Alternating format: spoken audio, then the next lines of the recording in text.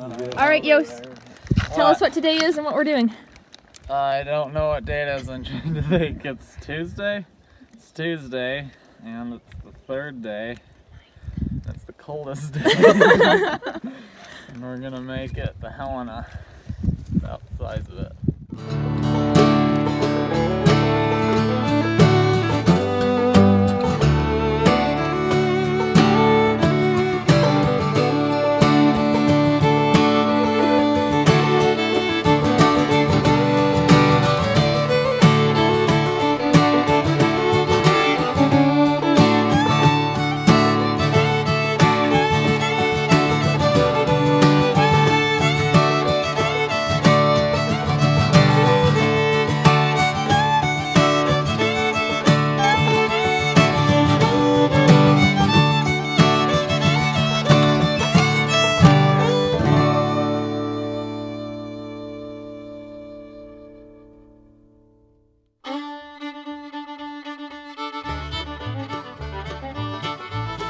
Day three it was one of the most exciting days for me anyway. We were going over Stemple Pass. We were hoping to make it to Helena.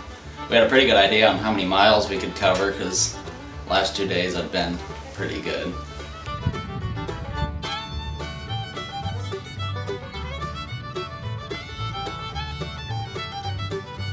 We grain the horses twice a day usually. We had nose bags and we feed them pretty much straight oats, a little bit of peas. Just something that would give them a lot of energy and it seemed to hold the weight on them pretty good as well. What branch did they say? It's an L. The L ranch. Someone you guys know, or they know. Yeah. The person You know. we know, you know who you are.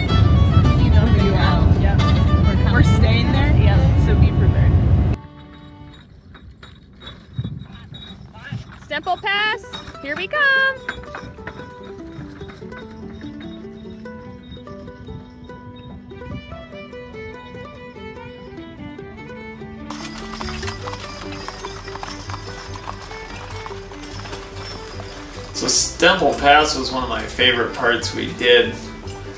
We figured we'd probably need a four up team to go over it because it was pretty steep and windy and for quite a ways. So we hooked up the four up team for that and they were pretty fresh when we took off. We ended up loping most of the way up the pass.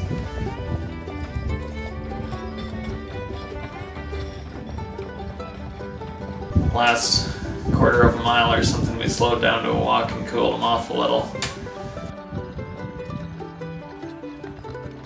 The horses had pulled us up a thousand feet in elevation over the last two and a half miles. While Concord coaches were highly prized by stage lines, their most valuable possessions were likely their horses. Stage horses were valued at roughly $130 a head, meaning one six up team was well worth over half the cost of a new Concord coach. Major stage lines would run over 3,000 head of horses. It is neat getting to help, um, like harness and unharness horses and learning about that a little bit, and them being willing to have us help. Though sometimes I felt like I was in the way, but that was really cool because I've never you know, experienced that before.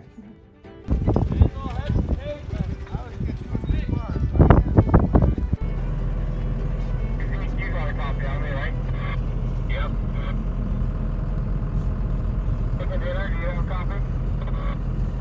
is how we do breakfast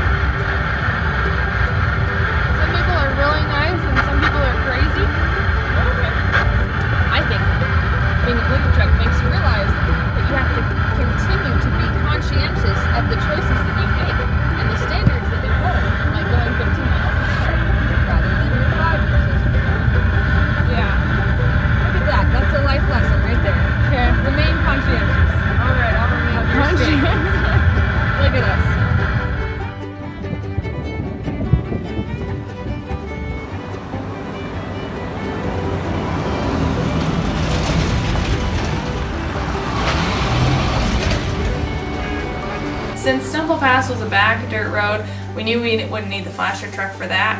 Um, and as the trip continued, we pretty much just used our judgment depending on the road and the traffic as to whether we would need it in different situations.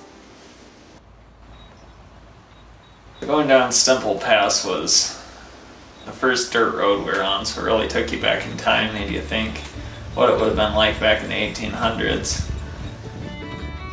The first stage line came to the Montana Territory in 1864 to meet the needs of the Virginia City Gold Rush. Transporting gold was a risky business, so an armed guard was nothing short of a necessity. Another crucial role that stage lines played was delivering news and communication between the people of the East and the growing population of the West.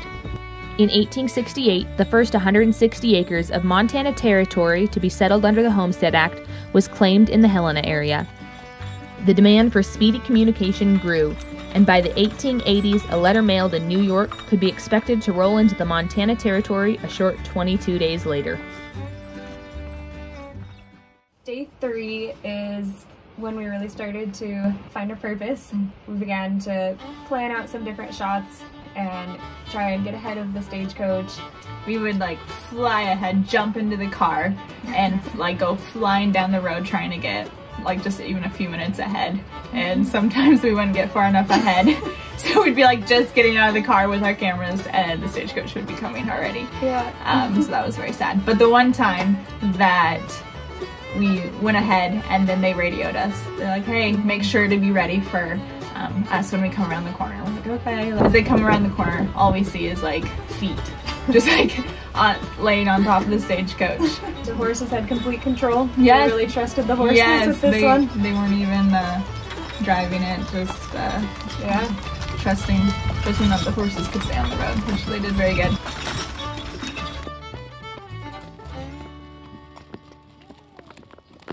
It's hard to explain just exactly how good that day felt. After traveling all day in the rain the day before, things felt just about perfect. How do you like this day versus yesterday? It's nice. The sun was shining, the sky was blue, and the temperature was just about perfect, especially for the horses. It wasn't too hot making them sweat, and it wasn't too cold for us stagecoach drivers. Along with the good weather, we started coming into some new terrain. The treed mountainside started turning into rolling hills with some pastures and small branches along the foothills of the Helena Valley. Our first greeting coming into the Helena Valley was a herd of cows that came running alongside the fence for, I don't know, over a mile probably. I don't know if they thought we were a feed truck or grain, whatever we were, but they were pretty excited to see us.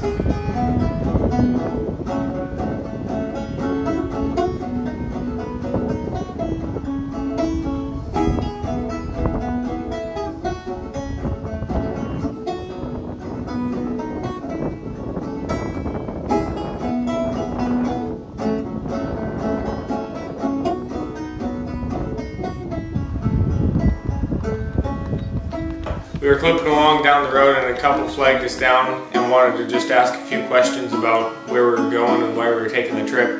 We ended up offering them a ride in the stagecoach and took their car and just drove it down to the next stage stop.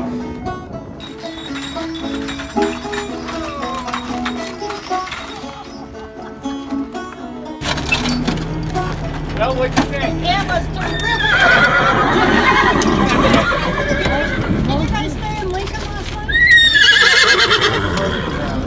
Oh, we only live a mile away from that. If only we know. oh my! Where are you spending tonight then? The Kleffner Ranch in Helena. Yeah, Oh, beautiful. You'll love that. Oh, super! We were rolling through some flatter country, and Brooke and I were taking a turn in the blinker truck. Um, the coach pulled off and stopped and waved us up, and we went up to see what was going on, and they were like, hey, let's switch you, and you can ride on the coach. And I was like, hey, that's cool, I haven't ridden on the coach yet. So Brooke and I hopped up there in the coach, um, just glad to sort of uh, break up our day a little bit and experience something different. Um, I'd always been around driving, but just never had the opportunity to really do it myself. 'em- like. It's not like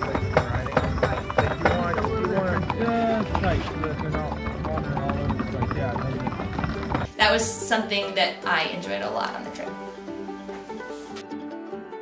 So, as a coach driver, what is the life lesson you learned from your position?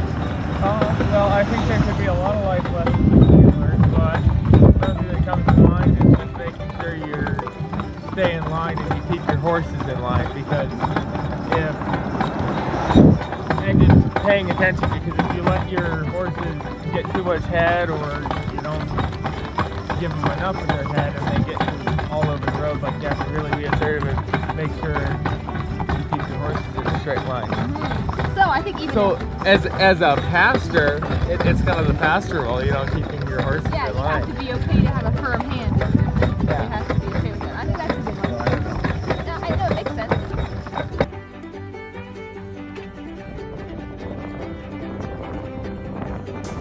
Midday break was one of the easiest times to do planning because we were all together and we had to plan out a route through Helena because we didn't know exactly where we were going.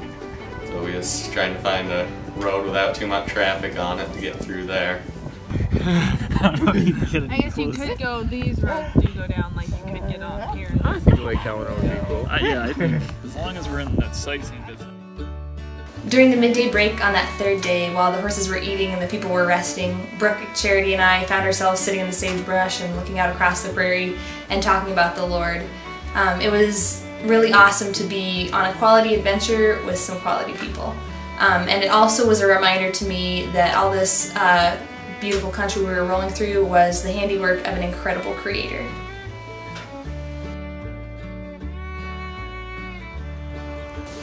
So after midday break, we hit the pavement again full of energy.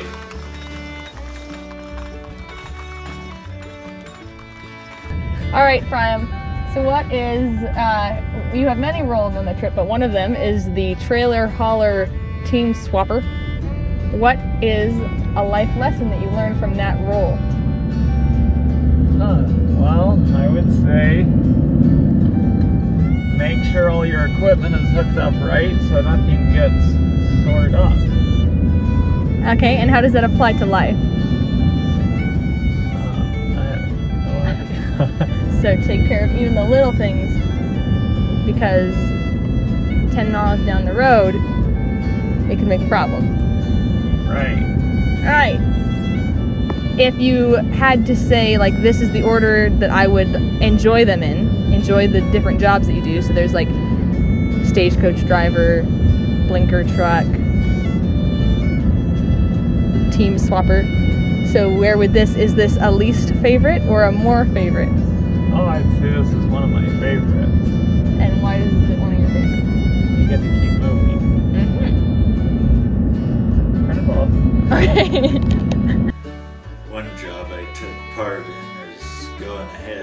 five miles, we had to finally get swab out spot, it wasn't always easy to do.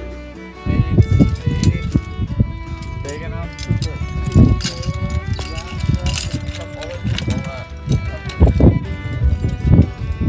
Uh-huh. So there's two trailers, but obviously only one set of horses gets unloaded. Yep.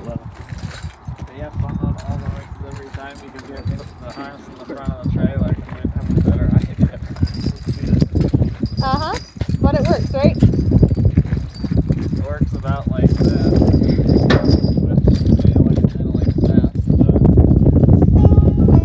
Something better that we could have had would we'd had a little bit more room for our harness. That probably would have been good because we just threw it up about the gooseneck, and it was kind of a mess pulling it out usually, but it was fine because it made it made more people want to drive the coach. So that was good. Is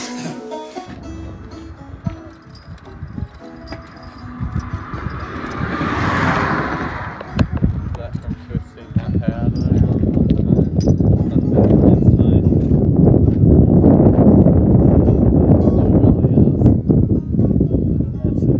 So does this, look, does this go up and inside? The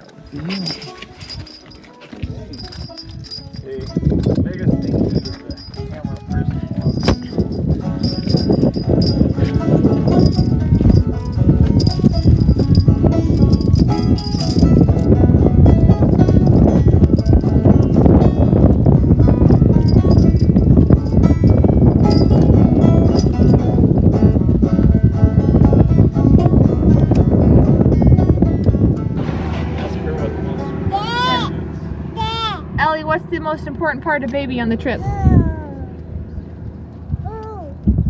Oh.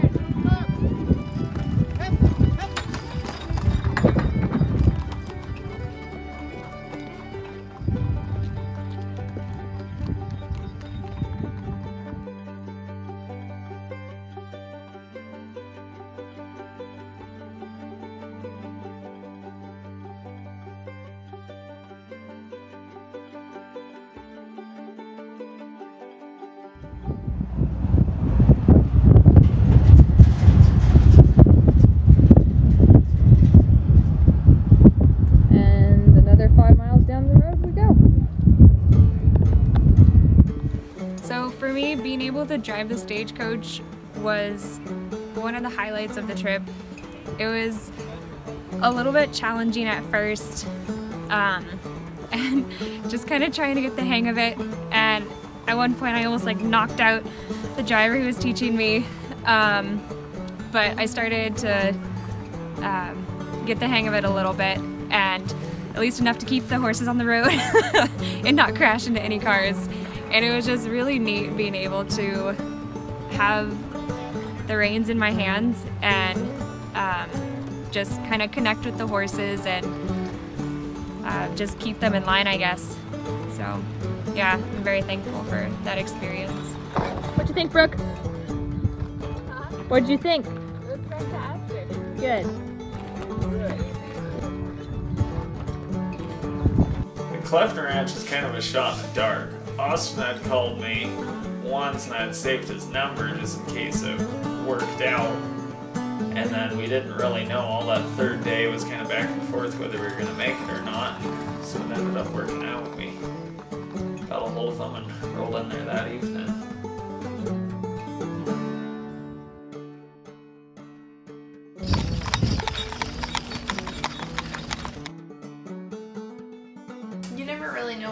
Expect when you're rolling into a new place um, with people that you've never met before. You've maybe talked to on the phone once or twice, um, pretty briefly. Um, but the owners of the Kleffner Ranch, the Youngs, gave us a really warm welcome and uh, made us feel right at home right off the bat. You ride shotgun? Sure. Okay, go around that side. All right. Please enjoy the ride. you have it? You're in for a treat. They've been going like that all day? Yeah, not, not, yeah. Okay. How many horses?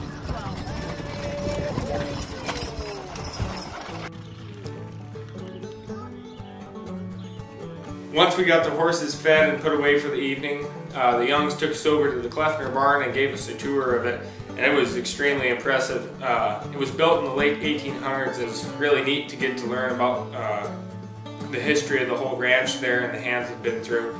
Uh, just seeing the craftsmanship of how this thing was put together was amazing.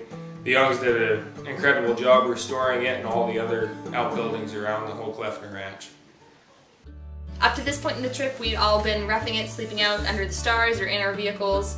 When the Youngs offered us the chance to stay in their guest cabin, us girls took full advantage of the opportunity.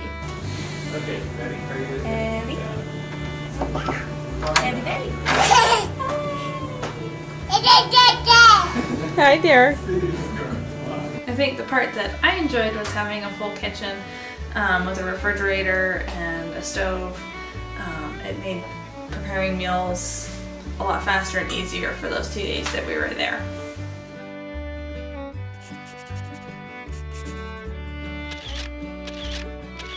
Third day was a really good day. We made it 61 miles, which wasn't quite as many miles as the day before, but we had to climb over Stemple Pass, which really took a lot of steam out of our horses. So when we got to Kleffner Ranch, we were really thankful to have a good place to spend the night and rest up the next day. And Mr. Young even mentioned something about having some projects for us to do, so we're all looking forward to what that might be.